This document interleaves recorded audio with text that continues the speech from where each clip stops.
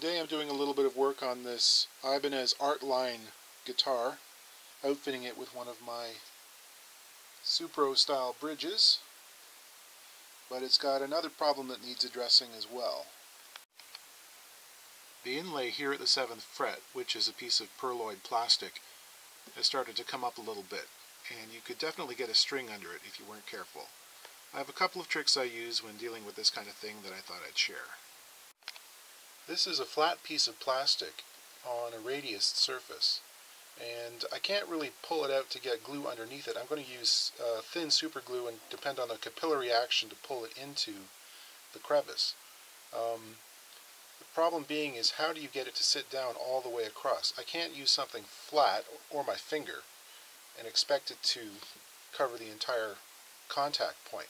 So I might get this area glued down and still have bit of a ridge on the rest of it. So what I got to do is make a curved clamping caul.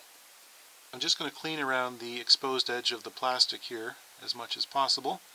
It's good to address these things relatively quickly because if you start packing finger grease into the groove between the inlay and the fretboard, then you can run into issues with adhesion. This is a strip of uh, self-adhesive 80 grit sandpaper which I've stuck down to the fretboard. There are other ways of doing this. You could get uh, friendly plastic, which is a heat malleable plastic substance. You put it in hot water and it'll conform to the surface and end up with a caul. I don't happen to have that, so I'm using this. I'll just sand the shape into a strip of mahogany. Doesn't take very long. I'm applying some paste wax to the surfaces adjacent to where I want to glue, being careful not to get any down into the crack. And I'll also wax the caul I made. I put a piece of plastic tape on there, but I want to be extra careful that I don't actually glue it to the board. Here's how the caul works. There are some notches on the end that capture a piece of surgical tubing. And I like surgical tubing rather than a clamp because it doesn't mess up the back of the neck, crack the finish or anything like that.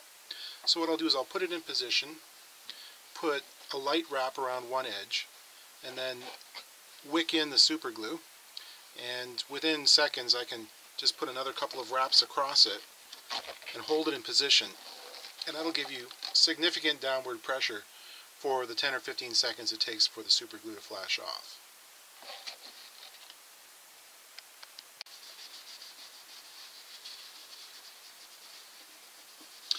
There we go, the clamp's off and nice tight fit all the way around. There's a little bit of a a glue line here around the margin and some seeped up under the fret. I'll get in there with a razor blade.